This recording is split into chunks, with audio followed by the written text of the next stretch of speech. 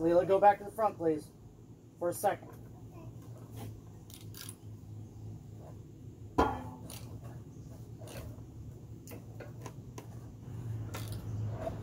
It's probably going to be really, really bad.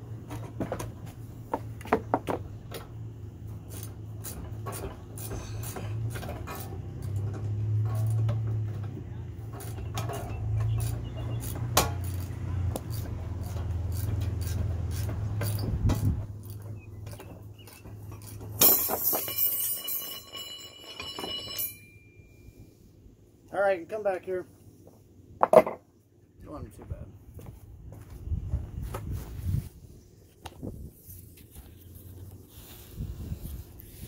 Oh, there they all are, the springs. There's the broken one. Right there.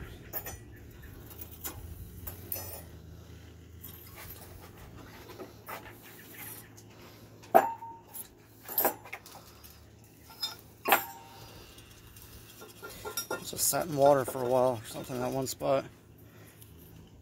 All these springs all look pretty good, just need cleaned up. So there's some new ones. The clutch put back together. Get ready to install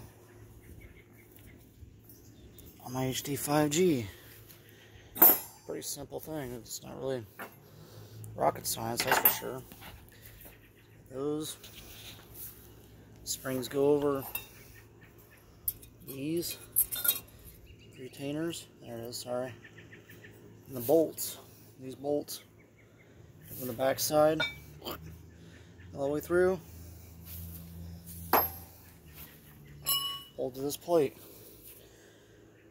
Put that back together. I'm going to have to press it all back together, but I mean, I could just make a jig with like a piece of threaded rod through there with a plate on the back of it and a nut on the front here or something and just cinch it in.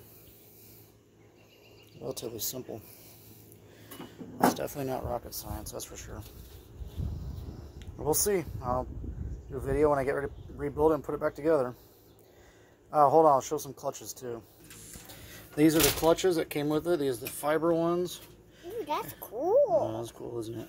Everything looks good on I mean, those need to be cleaned up, the metal spacers, but I need to measure the thickness of these so I can find out whatever the specs are supposed to be. A lot of people just tell me just to buy ceramic ones, which I'll probably just go that route and just buy the ceramic ones. Probably be just easier than putting these back in. I'd rather only do it once. So to spend the money, I think there's like 10 of them. 10 of these. I'll clean the metals up. Pretty simple design. It's pretty cool. I mean, these metal teeth right on the inside ring gear thing that we just took apart over there. And then these, excuse me, go into the drum.